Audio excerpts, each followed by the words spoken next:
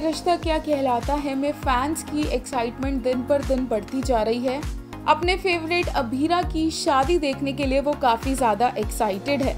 हालाँकि इनकी शादी का काउंटडाउन स्टार्ट हो गया है, लेकिन अभी तक शो में होली सेलिब्रेट करते ही दिखाया जा रहा है।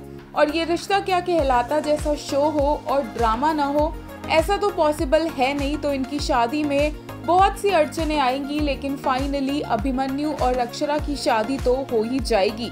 हम आपको बता दें कि ये रिश्ता क्या कहलाता है, अपनी ग्रैंड वेडिंग्स के लिए जाना जाता है तो फिर अभिमन्यु और अक्षरा की शादी भी कोई फीकी नहीं होगी, बल्कि एक बहुत ही ज़्यादा सेलिब्रेटेड इवेंट होगा, जिसके लिए राजन शाही की टीम ने ऑलरेडी प्रिपरेशन शुरू कर दिए हैं। सोर्सेस का कहना है कि राजन शाही इन दोनों के लिए एक डेस्टिनेशन वेडिंग चाहते हैं, वो भी राजस्थान में। राजन शाही की टीम राजस्थान की अलग अलग एग्जॉटिक लोकेशंस पर ट्रैवल कर रही है। सो दैट अक्षरा और अभिमन्यु की शादी के लिए एक परफेक्ट लोकेशन ढूंढी जा सके स्पेशली उदयपुर में।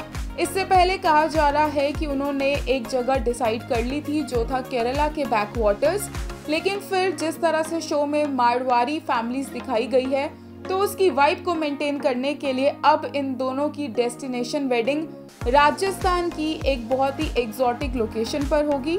हालाँकि कोविड और टेम्परेचर जैसे फैक्टर्स को ध्यान में रखते हुए एक ऐसी लोकेशन ढूंढना थोड़ा सा डिफ़िकल्ट हो रहा है। लेकिन व्यूअर्स को एक्साइटेड हो जाना चाहिए इस ग्रैंड वेडिंग के लिए।